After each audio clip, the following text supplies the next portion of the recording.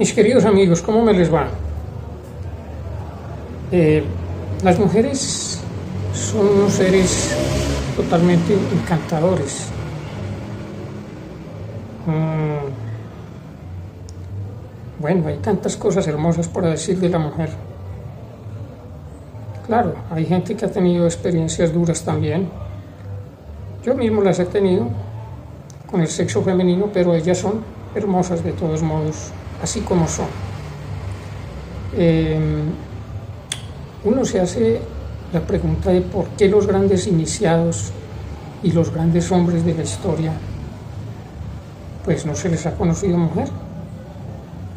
¿Sí? Pensemos por ejemplo en Jesús, aunque hay quienes dicen que sí tenía su compañera y que esa compañera era eh, María Magdalena.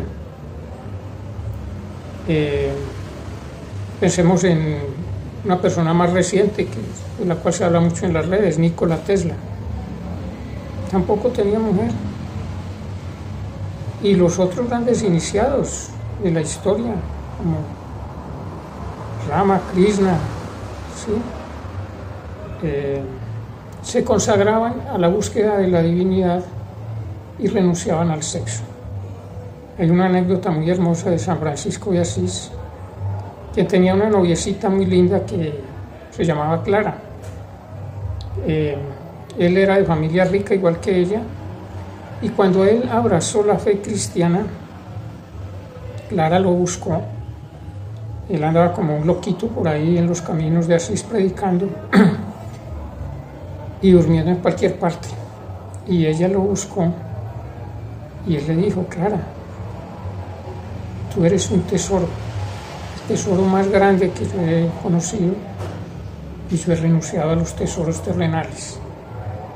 Entonces no puedo aceptarte, porque ella le pidió que le permitiera ser parte de su grupo. Y fue así entonces como ella se retiró llorando y decidió crear también un grupo de religiosas que hoy en día se conocen como las hermanas Clarisas. Clarisas viene de Clara, que era la novia de San Francisco y San Francisco pues formó a los franciscanos. Son historias muy bonitas. El caso es que eh, la sexualidad mm, es un terreno resbaladizo y complicado cuando se habla de las cosas religiosas.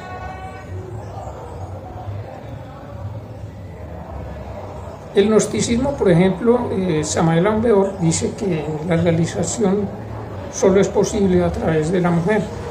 Por eso le escribió El matrimonio perfecto, un tratado, un libro bastante grueso. Y enseña cómo mm, vivir una vida de castidad dentro del matrimonio, llevando un matrimonio sin mancilla, un matrimonio sagrado. Hablando con mi gurú, eh, hace ya unos días, puesto que ya él no está aquí conmigo, eh, hablando sobre este tema, él me eh, explicó algunas cosas.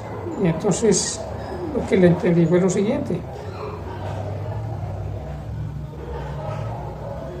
Mm, cada ser humano, hombre o mujer, tiene en sí mismo ambos géneros, o sea, un hombre es masculino y es femenino, una mujer es femenina pero también es masculina esas dos, eh, no sé si llamarlas polaridades, mm, normalmente están desequilibradas.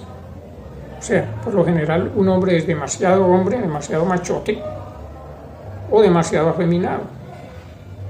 Y una mujer o es demasiado femenina o es demasiado mm, masculina. Pero normalmente no hay un equilibrio en eso. Entonces lo que se busca a través de la enseñanza de los grandes iniciados hindúes que la traen desde la época de los Vedas y que hace parte de la forma y el estilo de vida Kailasa a través de los Sanyasin son unos monjes que renuncian como mi maestro a todas las cosas terrenales para dedicarse a una misión. Eh, la visión de ellos es que hay que integrar dentro de nosotros lo masculino y lo femenino. De tal manera que eh, no se nos haga una necesidad buscar al otro sexo, porque ya se está expresando dentro de uno, ya hay un equilibrio perfecto entre esas dos polaridades. Posiblemente por eso eh, estas personas son bastante femeninas, pero también al mismo tiempo muy masculinos. Eh, es más, la imagen que nos han pintado de Jesús es esa también. Una persona muy delicada, muy tierna, con rasgos muy delicados también, pero al mismo tiempo era de un temple y de un eh, carácter muy, muy definido, muy masculino, pero al parecer ya tenía integradas esas dos polaridades. Mm, hablando de mi maestro Sri Nityananda Priyananda Maharaj, también yo he notado, o noté mientras estuve compartiendo con él, esa situación. Es una persona muy delicada, eh, muy tierna al hablar con las personas, pero al mismo tiempo es de un carácter y una masculinidad a toda prueba. Pero reúne esas dos características en sí. Y él es asexual porque él ha renunciado al sexo humano y se ha dedicado a cultivar su energía para despertar la kundalini, la sagrada energía de la madre cósmica dentro de su cuerpo, logrando con esto obviamente el despertar de los chakras y activando poderes y bueno, una cantidad de cosas increíbles y trascendiendo en los planos, obviamente.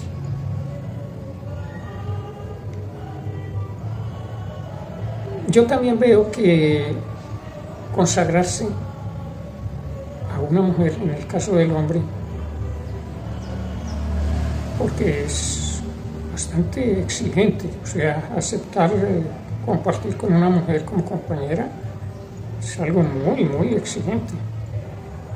Eh, y al hacerlo, desviamos nuestra atención de lo espiritual y nos concentramos en lo simplemente carnal, en lo físico, en lo material. Puesto que el sexo nos entra en el cuerpo. Obviamente que una relación de pareja no solo es sexo, es muchas, muchas cosas más. Pero el sexo juega un papel bastante preponderante, diría yo. Entonces, eh, pues recuerdo las palabras bíblicas, si una persona no puede dedicarle tiempo a dos señores, o está con el uno o está con el otro. Si nos consagramos a las cosas divinas, es a lo divino, y si nos consagramos al mundo, pues es al mundo y, obviamente a la vida de pareja y sí. Entonces, eh, la vida de un sanyasi es una vida tremendamente exigente, mm, porque se exigen a sí mismos de una manera despiadada, diría yo. Lo digo porque muchas veces vi al maestro Sisinitiana Namaya eh, velar casi toda la noche, haciendo cosas porque él nunca estaba inactivo él trabaja o trabaja muchísimo por internet y difunde eh, las enseñanzas del estilo de vida Kailasa por el mundo entero a través de la web. Entonces, eh, largas, larguísimas jornadas y dormía unas poquitas horas, muy poco. Igualmente, eh, en cuanto a los deseos humanos, también en muchos momentos constaté que ya no le presta atención a eso, porque es simplemente algo muy humano el desear. Entonces eh, se deja guiar por la inteligencia superior, que yo diría que es la conciencia. Y eso es mucho más productivo, mucho más hermoso. Por lo tanto, mi amigo, eh, tenga usted bien claro eso, en la medida en que nos consagramos a la pareja, eh, las cosas sagradas, yo diría que pasan a un segundo plano. Aunque se puede compartir una espiritualidad también eh, y una entrega hacia lo místico y hacia el cultivo de la conciencia con la pareja, claro que sí. Y es una escuela maravillosa también, el matrimonio bien vivido es maravilloso. Pero eh, el hecho de tener sexo con una mujer nos convierte en adictos al placer físico, carnal, con lo cual eh, vamos a estar tomando cuerpo indefinidamente. Esta conclusión pues, me ha llegado después de meditar un poco sobre estas cosas. Entonces, eh, la idea de un sanyasin, por ejemplo, de un monje renunciante, es liberarse de la rueda del samsara, liberarse de las reencarnaciones. Y para liberarse tiene que renunciar a los deseos y a, todo tipo de apetito. Por ejemplo, usted no verá a un maestro comiendo como nosotros comemos, que simplemente de una persona a comer, no. El primero espera que el hambre eh, castiga primero al hambre y las ganas de comer, y cuando ya está calmado, entonces ahí sí come. no permite en ningún momento ser dominado por la gula, y come muy, pero muy despacio, con conciencia, no llevado por el instinto. Entonces, repito, igualmente, igualmente, eh, creo que se me va a acabar la, memoria del celular. Igualmente, con respecto a los placeres sexuales, pues ellos renuncian eh, al sexo como tal para que su energía sexual kundalini se vaya activando y vaya subiendo a través de la columna vertebral y activando los chakras hasta llegar al cerebro y a despertar la, el tercer ojo, la glándula pineal. Bueno, son cuestiones eh, interesantes para muchos de ustedes que yo sé que eh, están incursionando en este camino espiritual, este camino iniciático, en este camino de la búsqueda interior. Porque de eso se trata, se trata de introspectarnos, trabajar sobre nosotros mismos y buscar la liberación. No hay un cielo como nos lo han pintado. Ese cielo tenemos que construirlo nosotros mismos. Y lo construimos adquiriendo dominio, no solo sobre nuestros deseos terrenales y humanos, y sobre nuestros instintos, por los cuales nos dejamos llevar tantas veces, sino también adquiriendo dominio sobre la mente, que es la loca de la casa, porque controlar la mente es bastante complicado. Si la mente, eh, cuando usted trata de controlarla, olvídese. Lo que hay que hacer es observarla, cómo actúa sin identificarse, porque de lo contrario es, imposible de, manejarla. Bueno, mi amigo, mm, espero que estas ideas le dejen algunas cosas claras que de pronto usted tenía y que iluminen también su vida interior. Namaste.